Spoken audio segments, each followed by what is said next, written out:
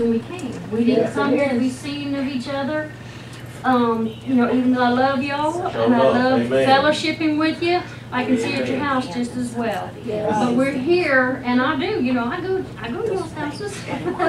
Most of y'all, except Dick, Lake Placid, but I've been there.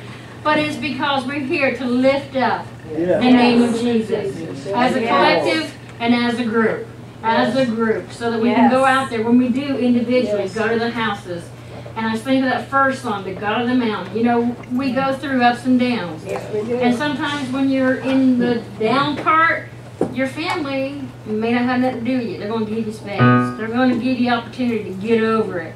But God is the only one who's there in the downtime Yes, it and is. the up times. He knows what to say. He knows who to send. He Yes. is constant, and it is that word of God. I can't remember what the second song was, but the milk and honey, the milk and honey. Once you realize what that milk and honey is, Oh, yes. when you get a vision, where you get an understanding Yeah. of what milk and Yes. honey is, it's just not somebody coming in here and saying, "Hey, it's good to see you tonight." Yeah. You know, Right. it's about opening up that word, the pastor opening up that word Yeah. and giving us what God's Yes. given to Thank Him, you, Lord. giving us that understanding, Yes. opening up our Yes. minds so that we can put on the new shoes, put on that new understanding, Yeah. take off our shoes and put on that new understanding because Yes. that's what it's all about. That's It's not it's about all about. numbers. It's not about being seen or to be seen.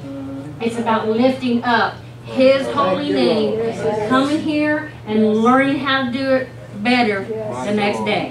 Yes, thank you, Lord. Praise.